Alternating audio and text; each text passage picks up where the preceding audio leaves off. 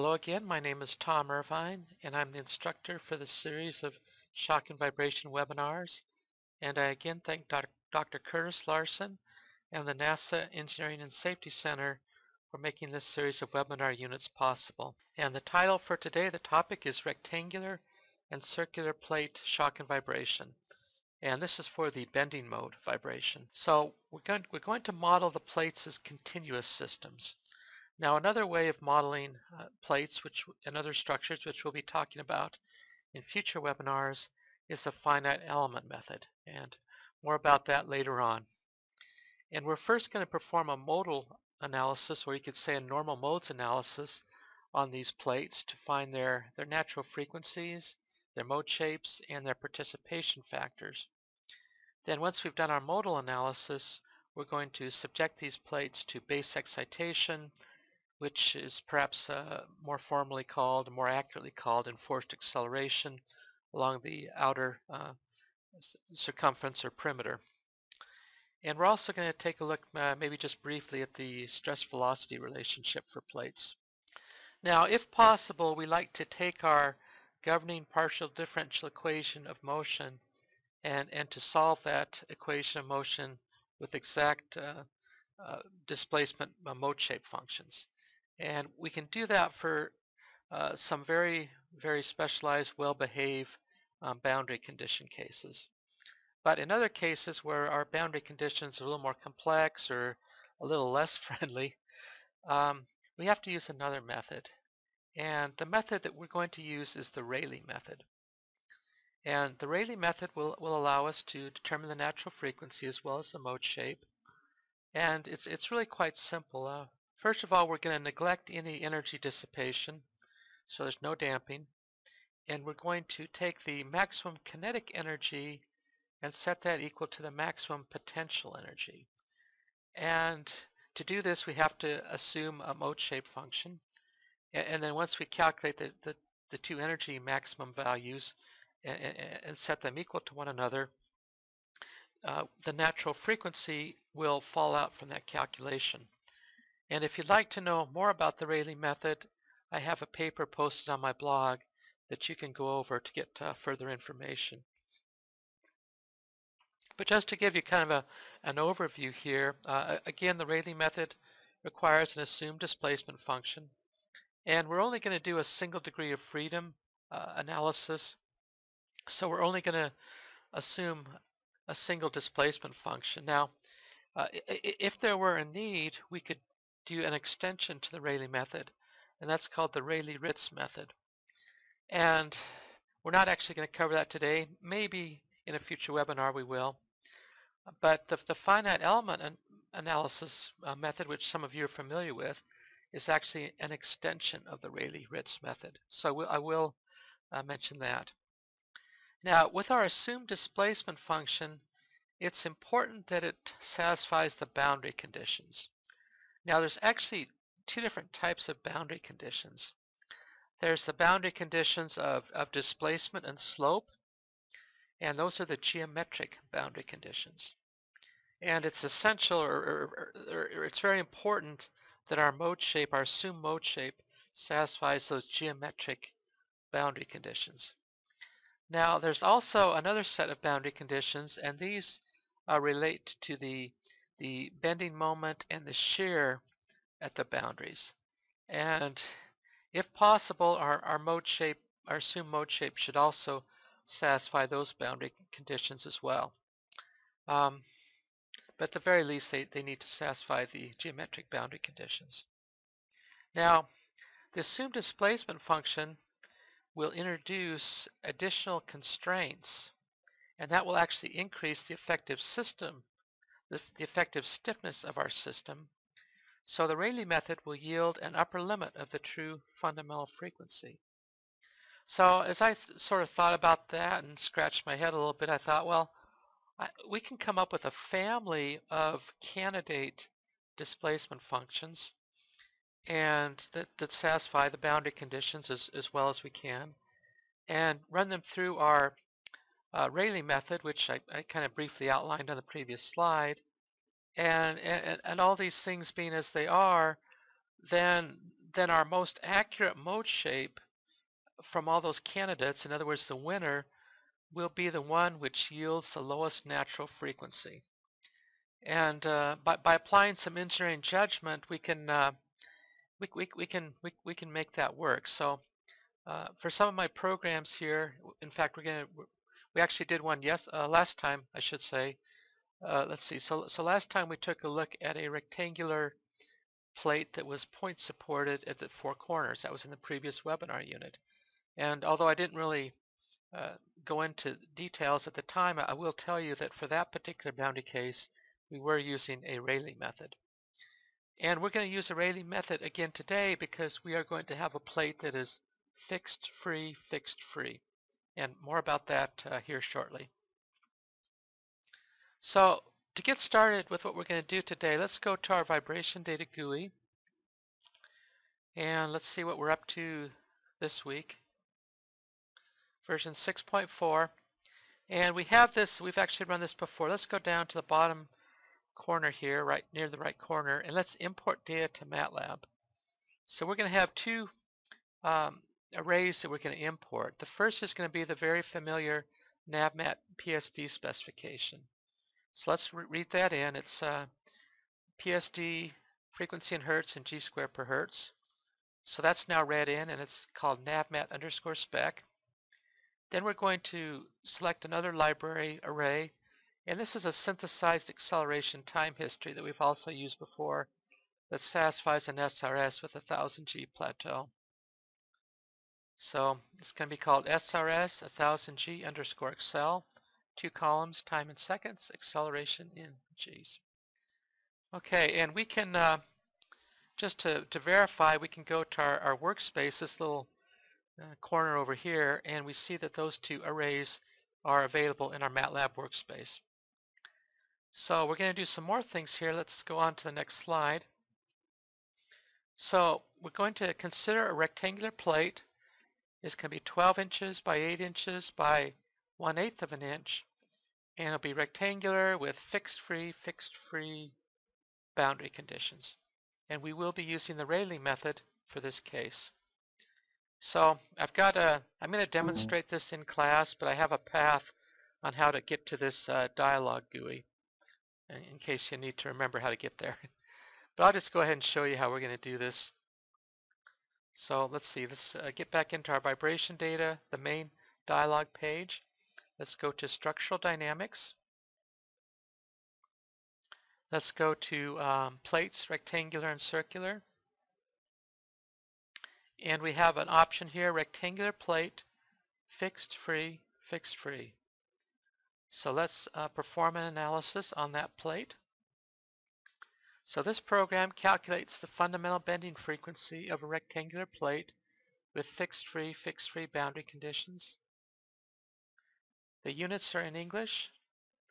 Aluminum material, so the material properties are a preset for aluminum.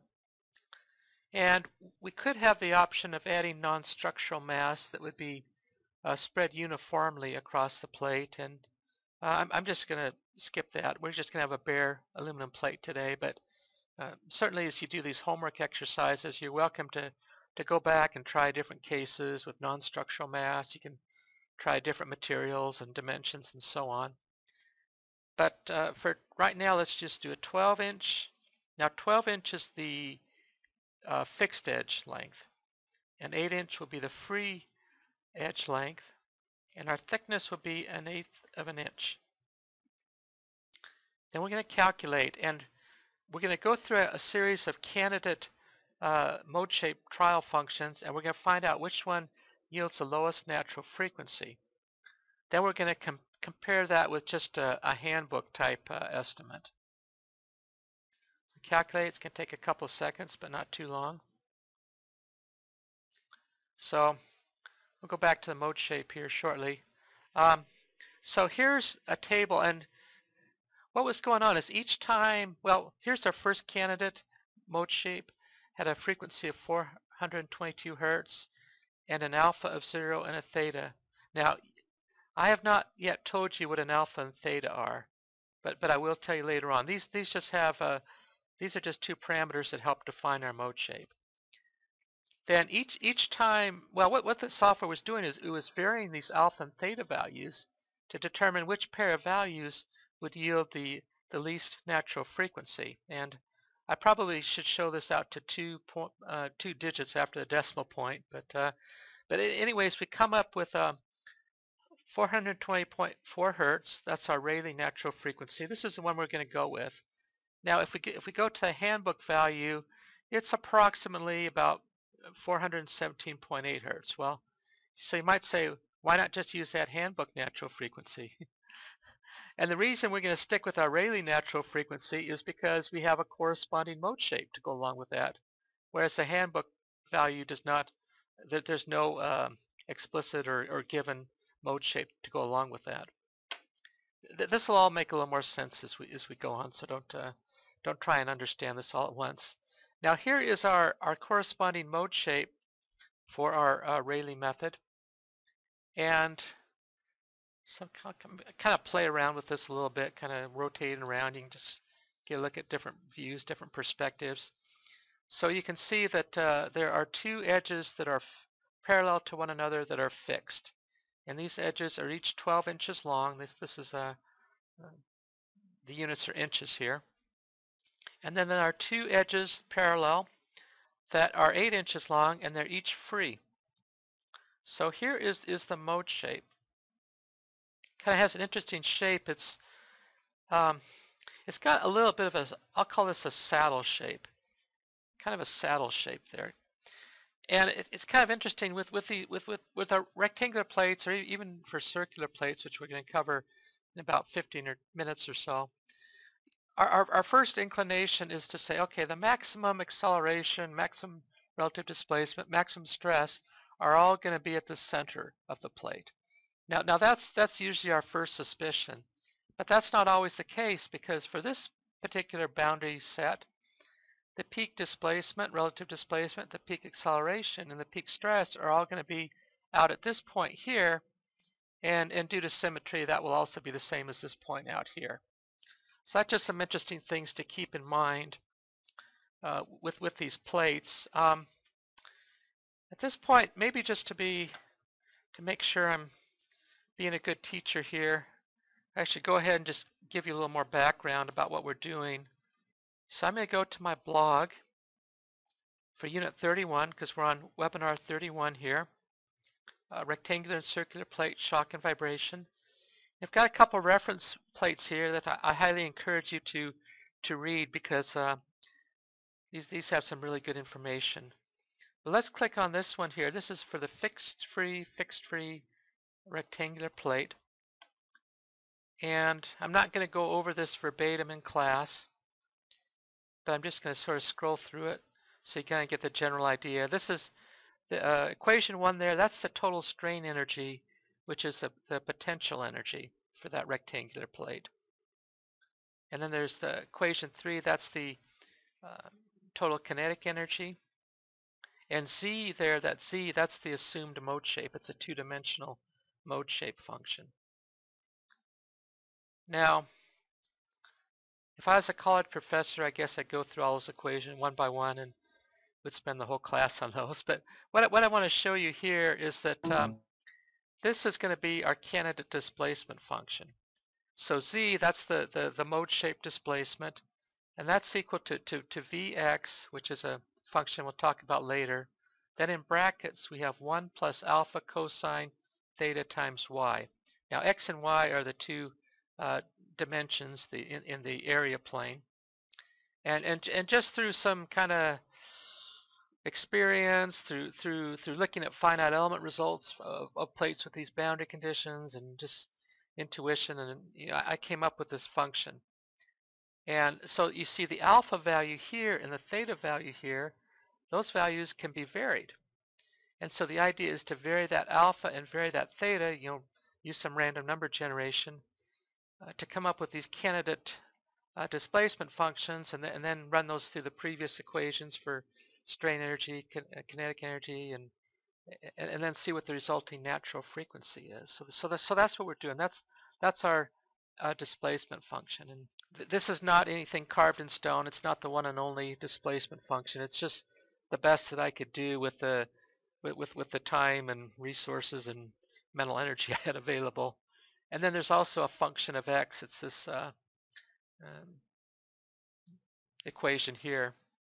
And, and, and, this is based in part on beam theory and other other plate theories. And But ultimately it's just kind of something cobbled together via engineering uh, judgment. And you can go back and read this at your leisure. I just wanted to make you aware of that. Um, so once we have our mode shape, our natural frequency defined, we can go and, and do a couple of things here. Uh, let's let's go to apply our base input, which is that's just something we love to do in this class. So you, you could think, for example, okay, we've got this plate, this rectangular plate with the stated boundary conditions, and it's going to be mounted on a shaker table, and we're going to apply a base excitation or seismic excitation or uh, if, if, if you prefer an enforced acceleration along the uh, perimeter. So let's enter in a Q value. We'll do Q is equal to 10. That's equivalent to 5% damping. Let's save that. And once that's saved, we have our, our choices here for how we can apply our base input and what type and so on. And let's go ahead and look at our transmissibilities for this plate. So this one, after some head scratching and trial and error, I decided uh, uh, I, am going to have a diagram here to show you where our available response uh, location points are. So we could choose point A is, is right in the center. And there's point B and C there. But point D is the one where the most action is going to happen. It's kind of on this lip here. This sort of is going to curl upward as the uh, in terms of how we're representing the mode shape. So let's do Let's go from uh, 10 to say 2000 hertz will be our frequency. And let's do point D there. Let's calculate what our transmissibilities will be. So we get a couple of plots that come up. Of course, we have uh, uh, in our uh, command window here, we can get the peak values here. These are the peak values at the fundamental frequency. Now, our, our natural frequency is 421 hertz.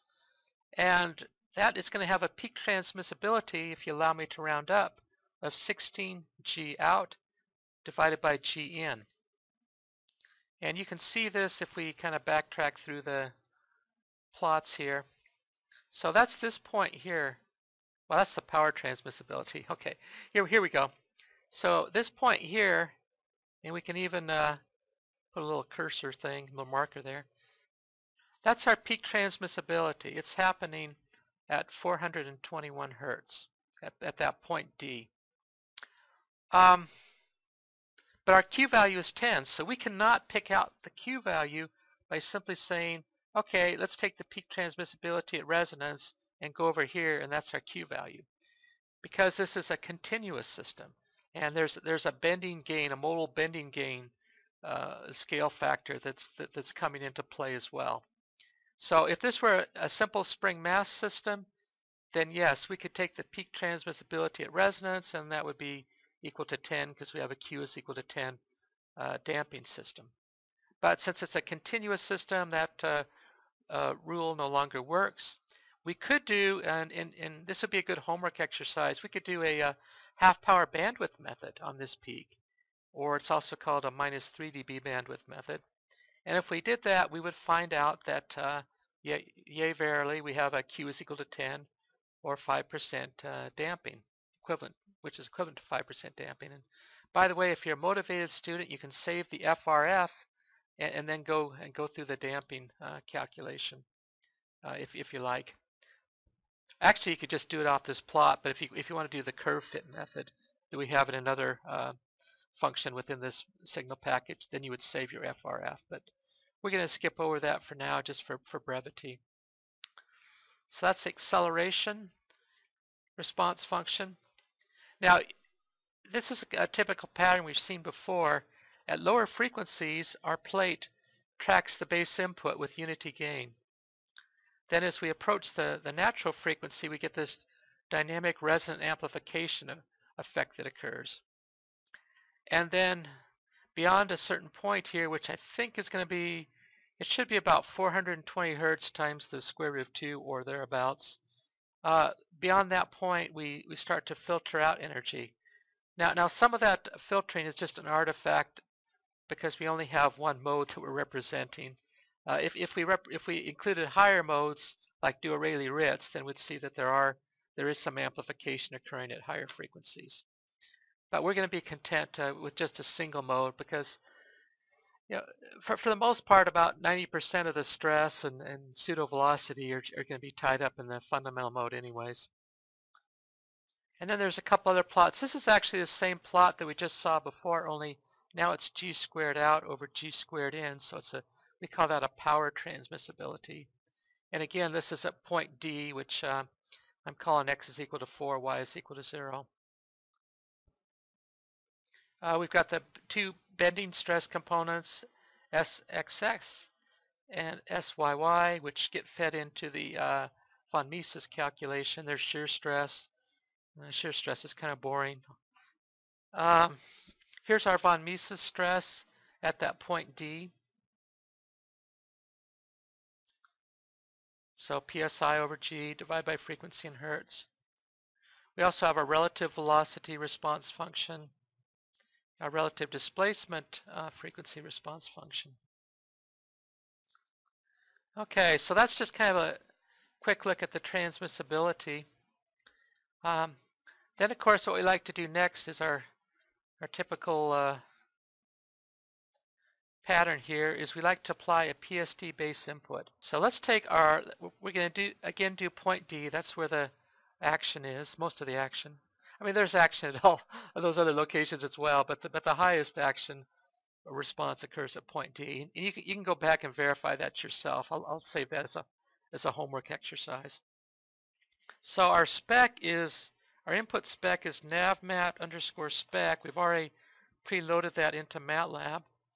So let's apply that PSD base input. It's, it's as if we were mounting this plate on a shaker table and controlling that shaker to the navmat spec.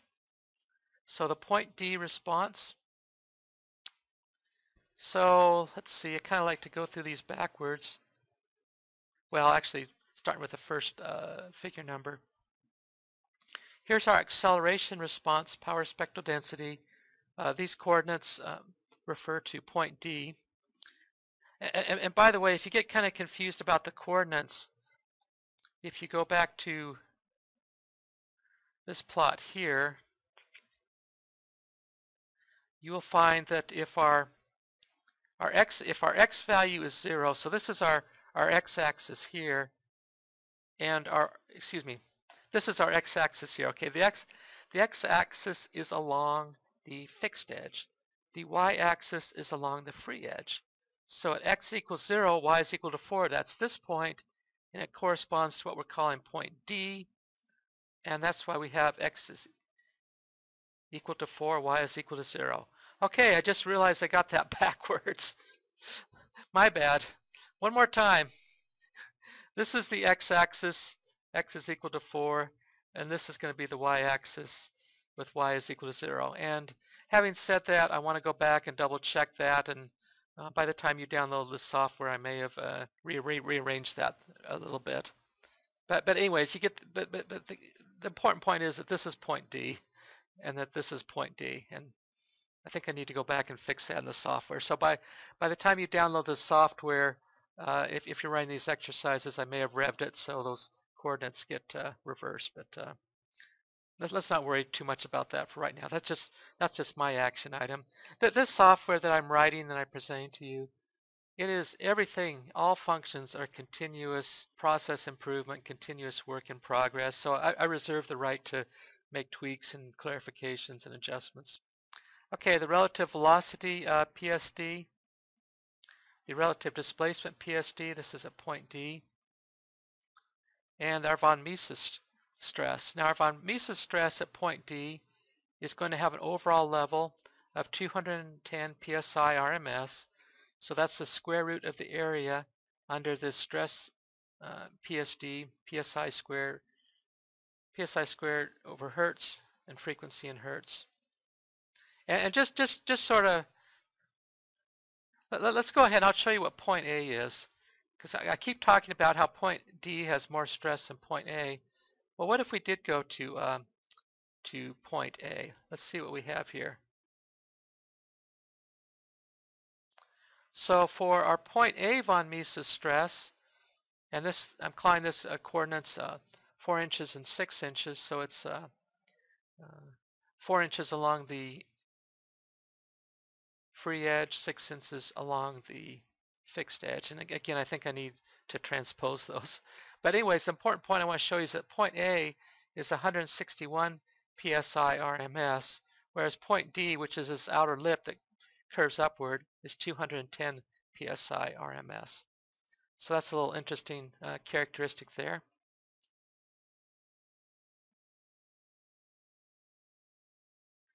Okay, so let's see what else we have here.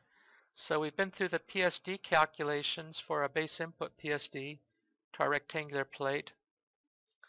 And let's let's let's apply a shock pulse. So we have a shock pulse option to apply to this plate.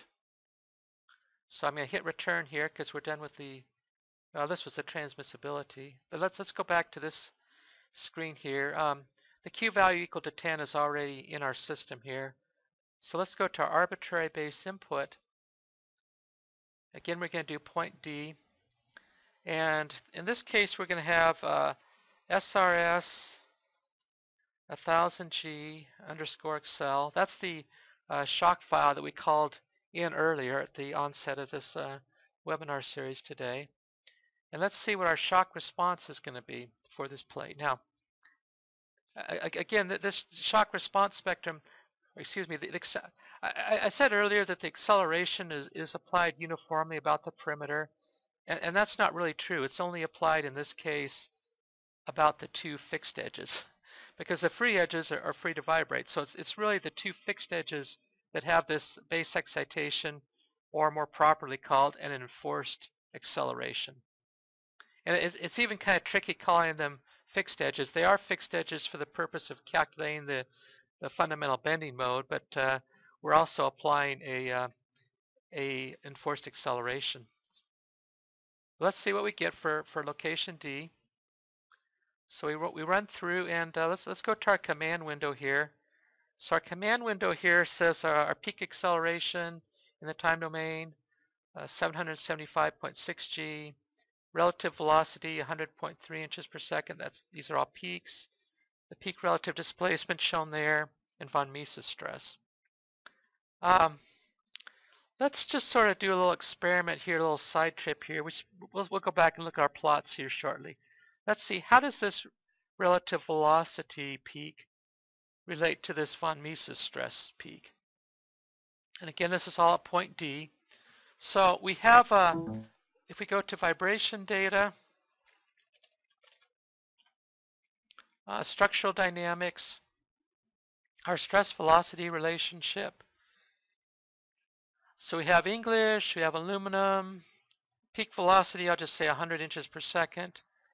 And we've got, we've got a plate. Now, in, in, in this case, for our plate, we are going to have to come up with a proportionality con constant. Now, we did have Hunt's plate relationship. We talked about uh, a webinar or two ago, but that's really only works for simply supported plates or simply supported about all boundary conditions. So just sort of by some experience in previous runs, I know that about 0.12 I think is a good proportionality con constant to relate peak velocity to peak stress. Let's see if that works out. So we see 100 inches per second, maximum stress about 6100 psi, and that, that agrees pretty much here with our von Mises stress. Now, I suppose we could tweak this a little bit and try and get a little more accurate, but, but you, you get the idea. So as far as the stress-velocity relationship and how it applies to plates, if anyone needs a good uh, idea for their master's research or whatever, uh, look at all the different boundary condition cases and come up with different proportionality constants based on the boundary con uh, conditions and material properties and so on. I, am still learning about this um, myself, and may, maybe someday I'll do that. Uh, but who knows? But to just kind of be aware that uh, the stress-velocity relationship is out there. and that there is a relationship between stress and the uh, peak relative velocity, or in shock sometimes we say the peak pseudo velocity. Okay, what else did we need to do? We need to go and look at the the tables. Where did our tables go? Our figures, I should say. I'm just going to hit recalculate here for point D. Okay, our von Mises stress time history. Von Mises stress always positive. Again, gets up to about 6100 uh, stress PSI. This is at point D. And again, I think I need to transpose those um, coordinates. Uh, the SYY, the SXXS, I don't know why that's a tongue twister, SXX. We have our response acceleration, our base input acceleration. Now, now this base input acceleration, you've seen this before because we've worked with this file several times. It, it's just simply this SRS 1000G underscore accel. So we synthesized it to match an SRS. And it kind of sort of, uh, with some imagination, and if you kind of squint your eyes a bit and turn your head a bit, it kind of looks like a midfield uh, pyrotechnic shock pulse. We also have our relative velocity getting up to about 100 inches per second and our relative displacement. So relative displacement is important in some cases. For example, um, we're going to be uh, looking at some Steinberg method for electronic equipment, uh, particularly for circuit boards. And when we look at circuit board fatigue, which is going to be uh, maybe in about uh, two webinars from now or thereabouts, relative displacement is, is going to be our go-to metric. So that's, that's an important metric.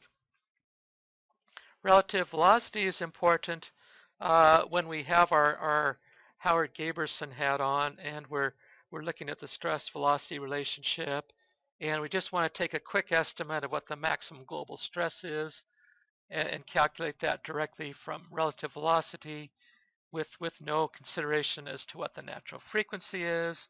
Although to get this relative velocity, we did know we did need to know what the natural frequency was. Uh, basic or excuse me, response acceleration is always going to be important. Uh, especially, uh, imagine that we have, by the way, where'd that plot go? It's there somewhere. Um, this is base input. I actually want to look at response acceleration. Where is it? Uh... Okay, what figure is, is it 21? Okay, 20, no, no, 26. So sometimes I get a little bit confused or a little bit uh,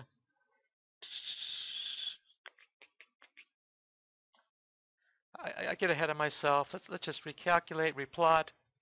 Same plots all over again. Here we go. Here's our response acceleration. So imagine up, that we had some little piece part or some little uh, miniature component mounted on that plate and that plate was vibrating or it was had this shock response. Then the response of the of the plate would then become the base input acceleration for that uh, miniaturized component or piece part that was mounted on that plate. So acceleration response is an important metric. So all of these response metrics have their uses and have their places. And my approach is just to, to provide you with all the information and then you can just take what information you, need in, in whatever priority that you have. Uh, of course, stress would be important if we were concerned about fatigue, uh, for example, or we're concerned about yielding.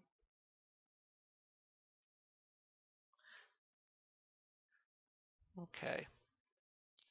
So I think that pretty much is what I wanted to cover for the uh, rectangular plate today. Let's do close all that. I'll just close out of all those figures.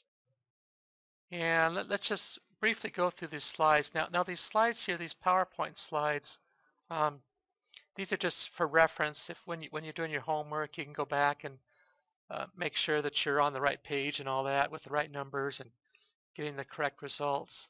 So this is how we calculated the natural frequency from the Rayleigh method with its corresponding mode shape. And then um, uh, here's a, here's another look at that mode shape. Kind of looks like a saddle a little bit. And, and, and, this, and this shows a little bit more clearly this curved uh, lip effect that I'm showing, I, have been talking about. Uh, so So due, due to this curved lip effect, effect, again, the maximum response parameters are here, and due to symmetry also here.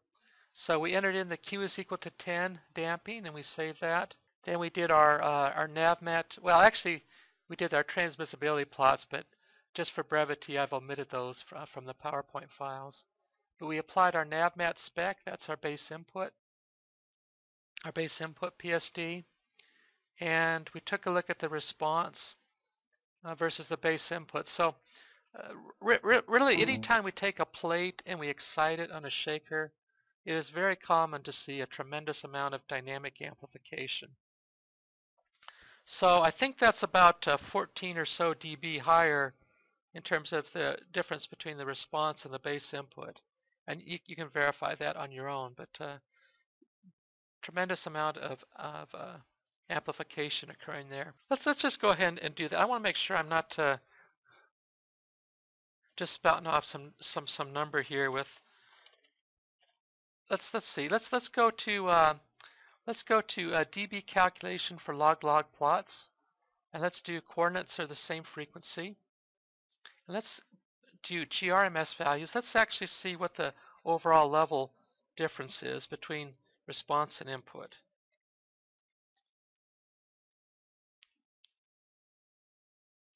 Okay, so it's about a 12 dB difference or 11.5 dB difference.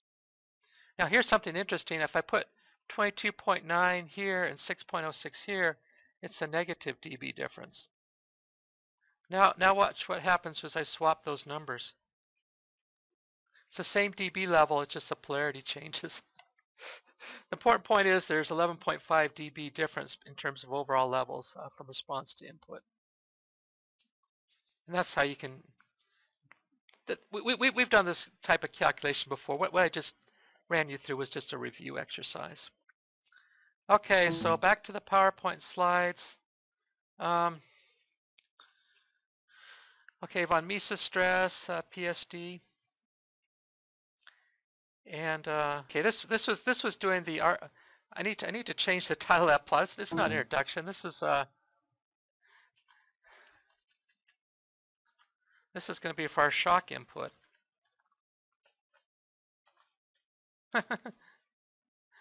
making changes on the fly. Okay, so here was for our, our shock input where we have this uh, uh, synthesized time history. And as you look at this uh, PowerPoint slide, this is the old version here where I actually had the locations uh, sp spelled out like quarter fixed length, half free length. And, and as, as, I scratched my head and thought about that a little bit, I thought, yeah, that, that, that, that's not the most user-friendly way uh, to pre present this uh, those types of tables. So if we go back uh, uh, to where we were before, you can you can see I've already made a change in this process where I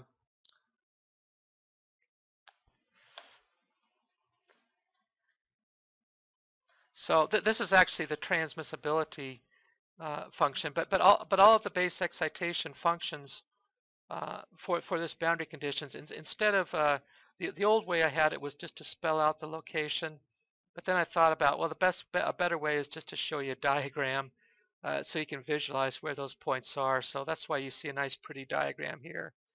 But in the PowerPoint slides, which I haven't gone back and changed yet, I still have the locations uh, spelled out.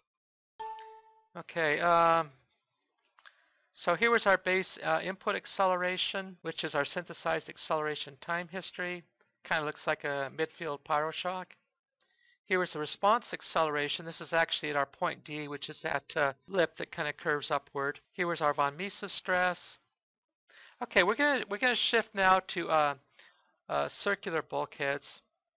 So here we have some example of, of, circular bulkheads, and and these are the types of uh, uh, bulkheads or plates, I should say, that uh, that I've dealt with before in in previous phases of my career.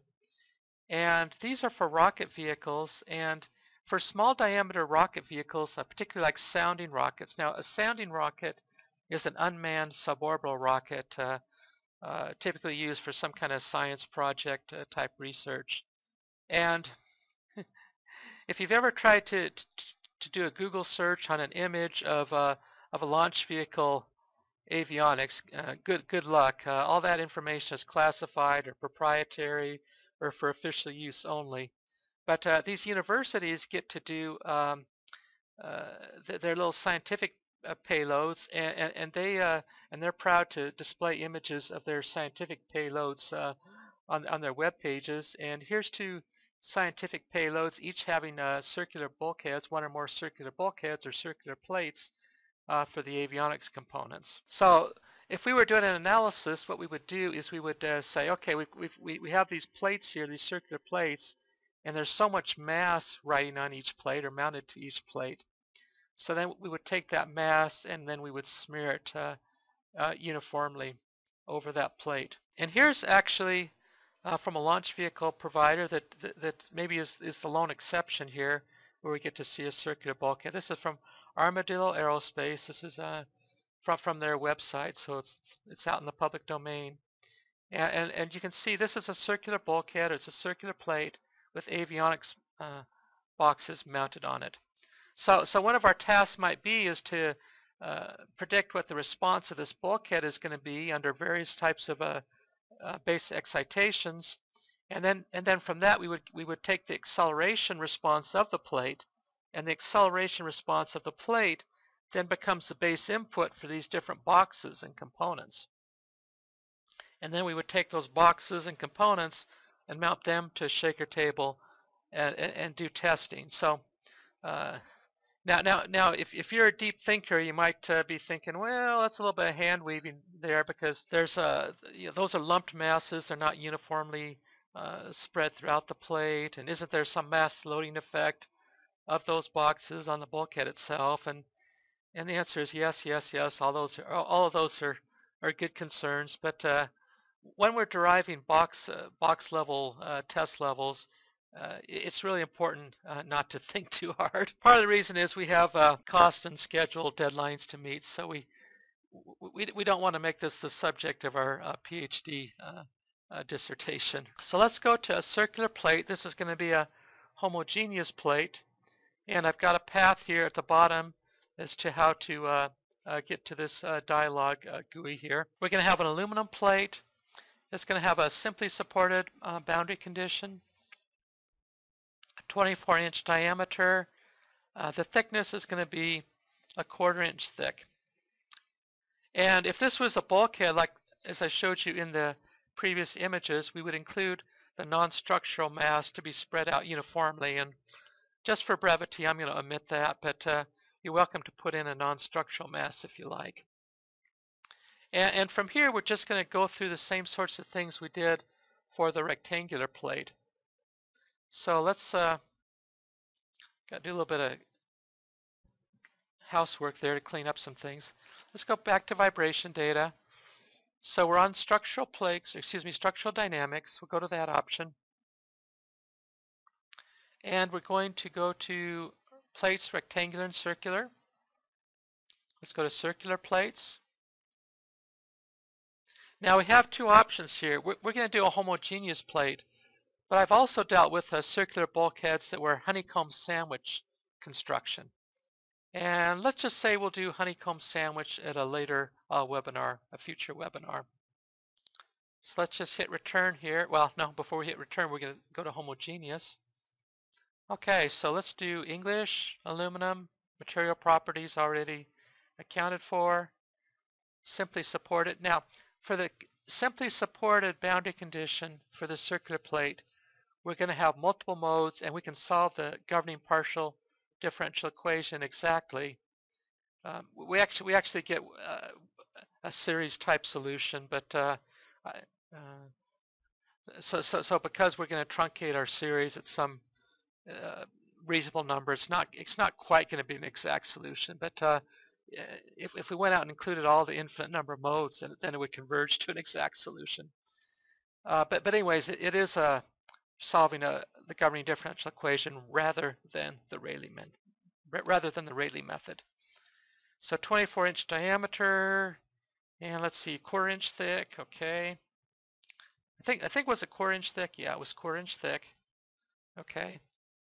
Just reminding myself there. Let's calculate the normal modes and corresponding natural frequencies.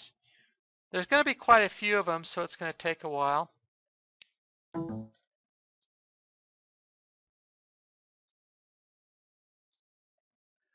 Okay, here's the fundamental mode. Now the fundamental mode is where about 90% uh, of the stress is going to take place.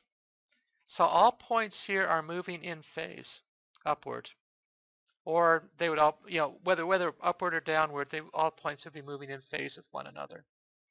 And really what I had ought to do is animate these mode shapes so you could see this uh, uh, the shape going up and down and I'll have to do that in a future re revision.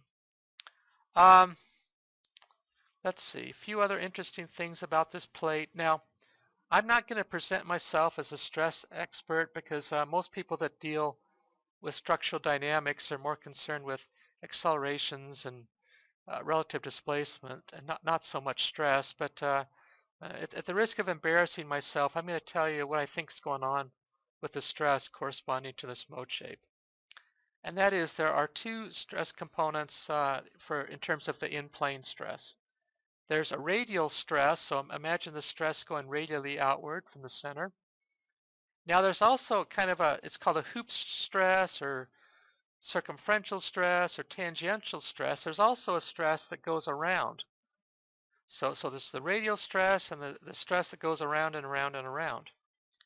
Well, this, this, I'll call it the hoop stress has an interesting characteristic. characteristic. The hoop stress disappears at the center of the plate. So that's kind of like a, a singularity point or whatever you want to call it, a, a point where there is no hoop stress. But then at all these other points, intermediate, and even out to this outer boundary here, there, there, there's stretching going on in the circumferential uh, axis or tangential axis, whatever you want to call it. So there is hoop stress. So what does that mean? Well, because of the care, because our von Mises stress depends on both hoop stress and radial stress, the peak von Mises stress does not happen at the center of the plate. Rather, it happens uh, somewhere that's off off center. Um, more about that later on. Of course, there's some higher mode things going on too that uh, come into play, uh, kind of as a higher order term type effects. It's also going to turn out for this plate where we have uniform base excitation that all of the modes that can be excited, and another word for that is all of the modes that have non-zero uh, participation factors, but all, all of the modes that can be excited are axisymmetric.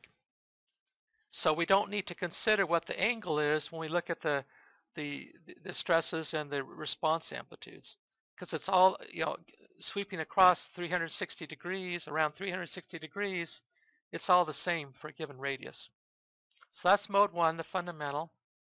Now mode 2 is, is a particular mode here that is not axisymmetric, and we have the same amount of mass going up as going down, so we got uh, half the plate's 180 degrees out of phase with the other half.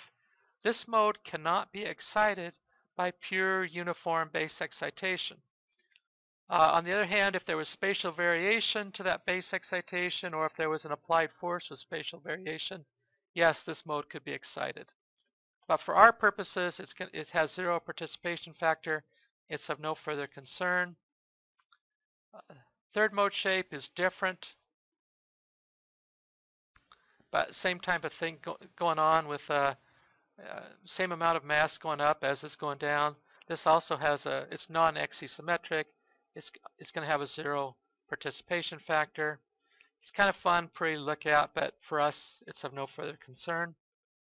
Now this mode here is different. This is an axisymmetric mode that will be excited mm -hmm. by uniform base excitation. And so we have some mass going up and some mass 180 degrees out of phase going down but it's a different amount of mass uh, in, in each case. And as I look at it, it's, it's kind of fun sometimes to take these modes and give them names based on their shapes. So uh, I used to live in Arizona where we have a rather large uh, Hispanic or Latin community and, and we love to go to Mexican restaurants. And one of the Mexican restaurants we used to go to when I lived there, it was called Sombreros. so I think this kind of looks like a, a Mexican uh, sombrero hat. So that's a, that's my little nickname for that. Okay, um, what else do we want to do with this? Uh, if we look at the command window, you can see all sorts of modes here. And I'm not going to discuss all the columns, but briefly, N is going to be the nodal diameters, K is going to be the nodal circles, PF is the participation factor, EMM is the effective modal mass. So we have uh, N again is the nodal diameters, K is the uh, nodal circles. Then, so for fundamental mode, 82.66 hertz, the participation factor, that's the highest participation factor of all the modes, is 0.8414. And participation factors are, ca are calculated from the, from the mode shapes, as well as the mass properties. The next two modes, which uh, we, we've seen uh, images of, each have participation factors of zero. They're of no further concern to us. Then our sombrero mode has a negative, uh, what was it there, negative uh, 0.3487, its participation factor. It's the second highest participation factor.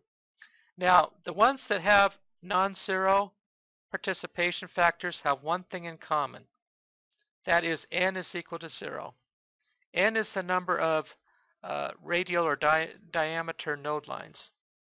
So you look at the diameter node lines, and if that if diameter node lines is equal to 0, that means that mode is axisymmetric. And that also correspondingly means the, a non-zero participation factor. So the only modes we can excite with uniform pure base excitation are the ones with n is equal to 0, which are kind of few and far between. but, they're, but, but they're out there. Um, Yeah, there's a couple of them buried in there. So from here on out, our analysis only includes the modes with non-zero participation factors. Uh, so let's apply our base excitation, and this is going to all be familiar uh, to you because it's the same thing we did for the rectangular plate. Now here's one thing a little bit different though. For amplification factor, we have two choices. We can just do a uniform factor, which is really the simplest and is, is is very often what we choose. But if, if we want to go in and tweak the individual damping values for the individual modes, we could do vary by modes. And you can see there's only four modes represented there. Well, these are the axisymmetric modes that have non-zero participation factors. So if we have the time and inclination, we could we could specify diff differing amplification factors for each of those. But just, just partly for simplicity and partly out of laziness, I'm just going to say they're all Q is equal to 10. So we'll save the damping. And then that gets shown down here in the uh, uh, this little table here. It's, it's, it's good just to do kind of a spot check to say that, uh, oh yeah, we got Q for all those modes. Q is equal to 10 for all those modes. I'm not sure what those other numbers are doing there. Uh, let's see, transmissibilities. I'm, I'm going to go through this just kind of a little bit quick here because this is kind of getting to be about one hour and I like to stop these at one hour. So we can do our center location. Let's go from 10 to 10,000 hertz.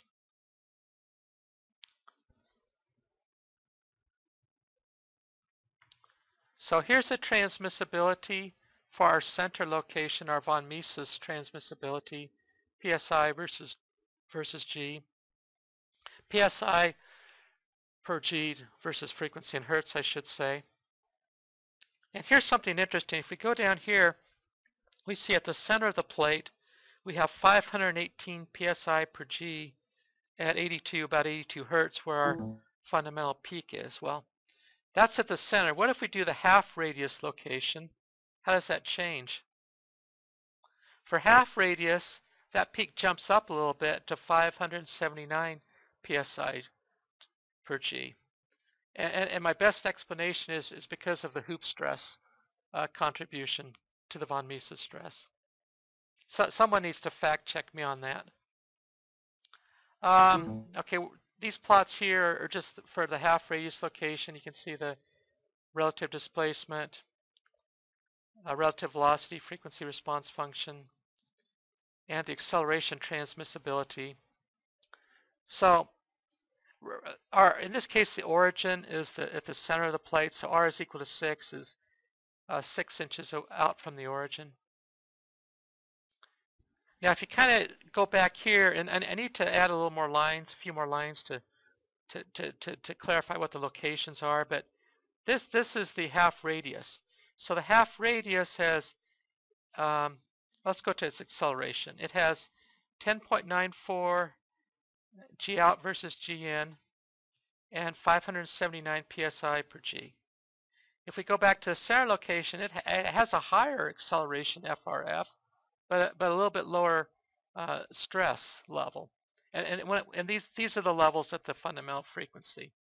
So this is another example where the peak acceleration and the peak stress um, are not necessarily at the same location. They can be at different locations, as is the case for this uh, circular plate.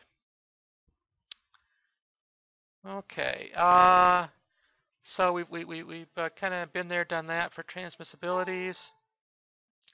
And I just saw a little uh, non-catastrophic error that I need to fix. So I'm going to make a note to myself to fix that error message. But let's go uh, and apply the NavMat base input. We still have Q is equal to 10 entered in. So NavMat spec is our base input. And let's look at the center of the plate.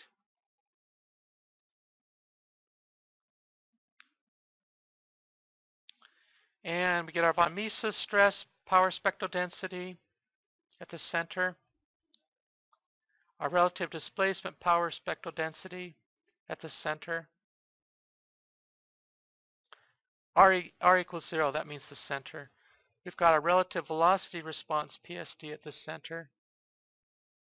Now let's take a look at this acceleration at the center.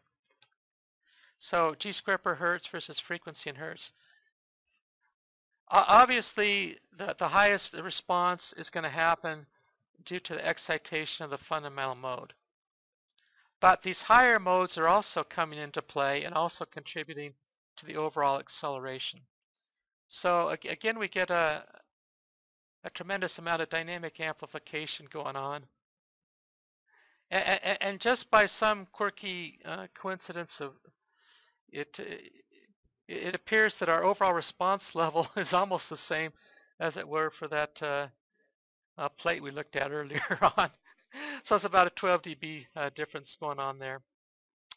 Um, but this is what happens when we take, uh, say, a circular plate and mount it on a fixture and do a shaker table test. Is we can, we get tremendous dynamic amplification, and and and, and if you look, just if we if we go frequency by frequency at all excitation frequencies, there is amplification greater than 1. so that's something we need to keep in mind, especially if we had, uh, say, some piece parts or miniature components that were mounted or on, on this plate. Uh, we, we want to make sure, for example, that the, that the natural frequencies of the individual components did not coincide with the natural frequencies of the plate. Uh, so, so say for example we have a bulkhead and we have a small avionics box. We'd want to make sure that the natural frequency of the, of the circuit board inside that box did not coincide with any of these plate modes. And we also might, might want to think about, well, could we add some damping treatment to that plate or, or, or do something else to uh, increase the damping uh, because we're getting quite some quite high responses there. And, and, and, again, each of these modes is a Q is equal to 10 mode, and you could verify that uh, doing the half power bandwidth method. Okay, let's uh, kind of move on here to arbitrary inputs. So we're going to do our, our shock excitation. So our shock excitation for the circular plate, this will be, again, SRS 1000G underscore accel. And Let's take a look at the uh, let's take a look at the half radius because that had the of the three locations that has the highest von Mises stress. Well, let's okay. Let's look at center first. So for the center first, uh, let's look at its pseudo velocity or relative velocity. So its relative velocity is about uh, 90 inches per second, and then you can see the von Mises stress. Now, this this is at the center, and I need to go and put in a line there that says, yea, verily, that's the center. But let's see what, now what we do for our half radius, same thing, at the half radius point. So for half radius, our relative velocity goes down, but our von Mises stress goes up. So let's let's go back to our stress velocity relationship and see if we can uh, make this work for a simply supported circular plate. And I'm kind of just doing this here kind of off the cuff here. Um, it's okay. To, it's good to play around. Learn things by playing around. English, mm -hmm. aluminum, plate. Put in our, our, our peak velocity there. And then we've got our peak stress value we're expecting at 4,125 psi. Proportionality constant. Let's try 1.2 again. That worked for us earlier today. Hmm. A little bit high there, isn't it? Need to dial that down. Well, a little bit low. okay, third time's a charm. So, if we take our circular plate with simply support a boundary condition and apply a proportionality constant of 0.9, we can uh, make that stress-velocity relationship come out. Now, now, some of you that are, are kind of thinking a little more deeply or thinking ahead might say, okay, may, maybe, just maybe, the peak stress occurs at the quarter radius point. Well, may, maybe so, and that, that could be a, kind of a homework exercise for you to uh, to go in and take a look at that, or, or, or maybe, maybe I need to go and put that in as an option. So again, I'll, I, I'm presenting all this software, these MATLAB scripts in this presentation today. By the time you actually download these and go through the exercises, these might be mm-hmm. up to higher versions with, with more bells and whistles and a few little minor glitches fixed. But we've already been here over an hour, so let's kind of wrap this up here. Um, as you go through these slides, this is just things we've, I've shown you before. There's our, our, our famous sombrero mode. And, and, just for reference, if you want to download the PowerPoint slides and go over them at your leisure, you can, you can see how we did all these uh, homework exercises. But uh, all of this you've, you've now seen before.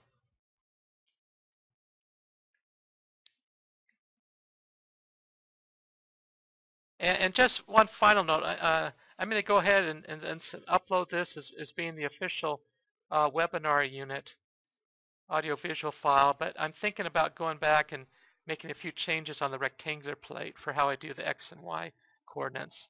And then I already mentioned that uh, instead of uh, uh, having to go through this uh, verbal description of the response locations, instead I have that little image where you can pick off points A, B, C, and D. So that's something that's already changed. And that's all for now. Have a good day, and please email me if you have questions. we'll see you next time. So thank you, and goodbye.